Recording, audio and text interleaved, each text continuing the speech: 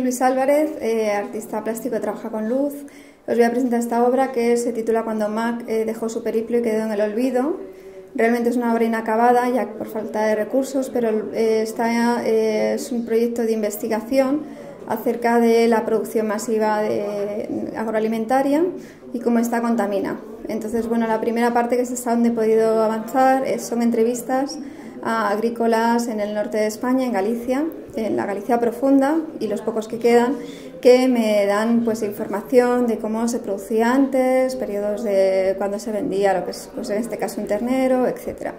Y bueno, es una reflexión sobre el medio ambiente y, y los trabajos, la, la vida rápida ¿no? y el consumo rápido.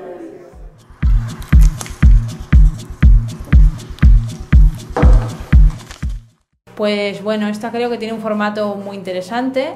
Al ser una habitación de un hotel, al artista es como que se nos obliga un poco a, tener que estrujarnos un poco el cerebro para ver, para ver cómo podemos adaptar nuestra obra a un formato como es una habitación de un hotel. A diferencia de otras ferias, que es una pared blanca en la que cualquier obra puede quedar bien colocada, pues aquí realmente te tienes que darle la vuelta a las cosas y pensar cómo lo vas a colocar y ver qué, y ver qué pones y luego también que quede de una forma de una forma pues armónica entre los artistas que estamos en, en nuestro grupo. Pues mi arte es una batidora, yo creo.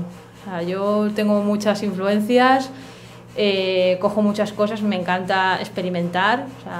Mm, tengo por cada acierto tengo cinco errores porque me encanta pues mezclar diferentes cosas, pues cosas dentro del arte y no dentro del arte.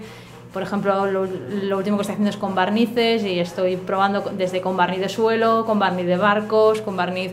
Entonces, pues bueno, pues de eso hay errores, lógicamente, que de repente te cargas un cuadro, pero luego, vamos, de repente encuentras la clave y dices, guau, esto me quedo con ello.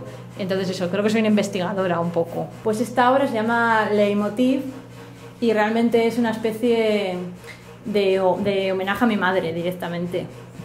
Mi madre ha tenido un año un poco así durillo, entonces esta obra pues es un poco lo que estaba sintiendo en ese momento, o sea, santifico un poco a mi madre y, y cada parte, o sea, tiene un montón de detalles y cada parte es, cuenta algo sobre ella, sobre, sobre mis experiencias con ella y bueno, ha quedado eh, tinta china sobre papel eh, pegada en el retablo y luego un barniz mezcla mágico que hice para ella.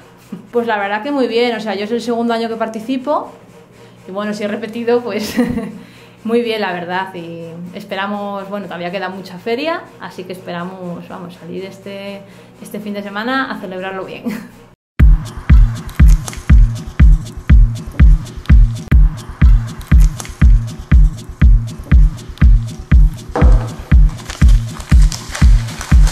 Pues esta pieza eh, la he llamado La familia. Em, en mi obra en general eh, yo estudio las relaciones eh, interpersonales en nuestra sociedad, bueno, sobre todo en gente perteneciente a mi generación, que noto que, el, por ejemplo, la intimidad o el intimismo es algo cambiante y que está sufriendo como una especie de eh, tensión extraña con el tema de las redes, con el tema de eh, las relaciones afectivas en general y cómo las gestionamos ahora en un mundo de tecnología muy rápida y consumo de personas muy rápido. Eh, entonces la familia también, bueno, he puesto, bueno, he planteado como tres figuras pueden ser femeninas, son un poco andrógenas, eh, la identidad no es muy clara, eh, más que nada también porque considero que la familia tampoco es algo eh, estipulado, entonces también hace como un poco de referencia a eh, los cambios de, eh, de, cómo se considera hoy en día lo que es una familia mm, estructurada. No tiene por qué ser relaciones de sangre, sino tu comunidad o tus amigos. Y bueno, en cuanto a la técnica es tela de lino y acrílico eh, yo normalmente trabajo en papel, soy grabadora, eh, calcográfica Entonces, respetar la, matriz o la superficie es lo que más me interesa. Eh, me gusta mucho el entramado del papel o, eh, en este caso de la tela. Y, nada, eh, la línea es lo que a mí me tira, lo que se parezca a la estampación. siempre me ha gustado leer, siempre me ha gustado los cuadernos de bitácora, por ejemplo, esa accesibilidad que tiene mirar esas, esas obras, eh, que me parecen que van también al hilo de lo que, de lo que intento hablar, ¿no? el intimismo, el ver algo con detenimiento y el acercarte a algo con un poquito más de tiempo y silencio, supongo. Eh, que como ves también silencios dejo muchos espacios en blanco eh, en forma de espacio.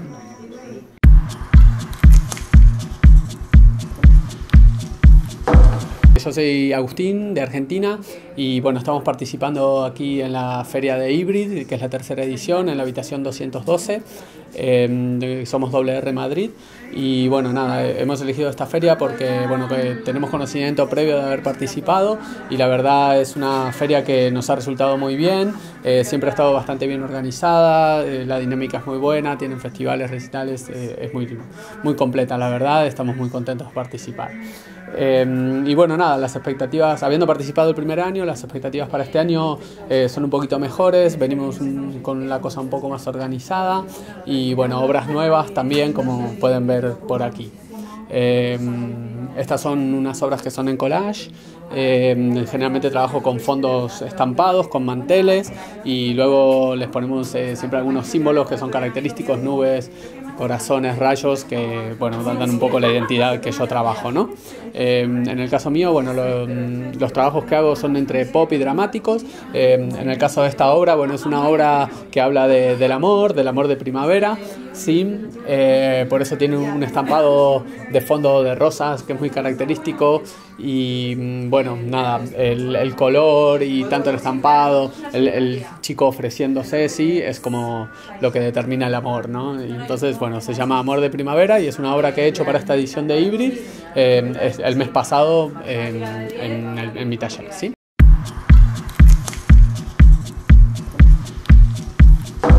Hola, me llamo Natasha Lelenko, soy la autora de esas piezas eh, de la habitación 108. Eh, nuestro tema central era el deseo y bueno, mi propuesta era abordar ese tema desde la perspectiva de los comensales. Los comensales son los miembros que juntos conforman una jerarquía de, poder, ¿vale?